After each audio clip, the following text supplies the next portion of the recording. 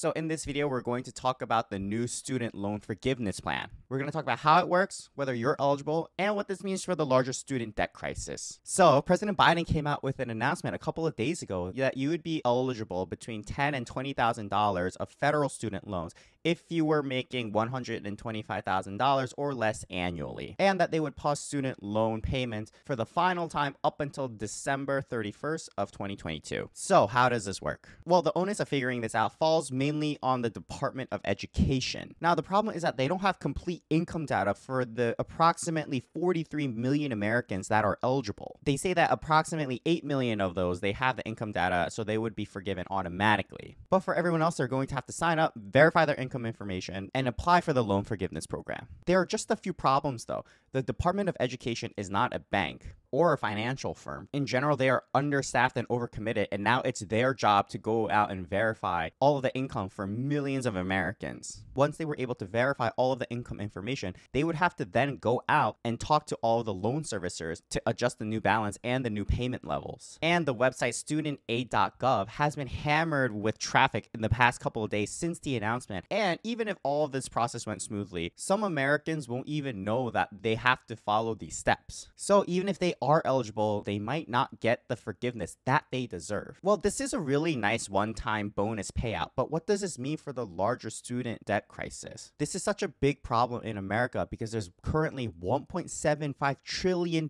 worth of student debt. And a trillion is a number that's just so hard to visualize. For example, a million seconds is about 12 days, a billion seconds is about 31.7 years, a trillion seconds is 31,000 1,700 years. 31,000 years ago is older than cave paintings found in France. And while this is undoubtedly good news for those who have student loans, I hope that we can find a better solution in the future. Let me know down in the comments if you're eligible for this payday. Thanks so much for watching, and I'll see you in the next one.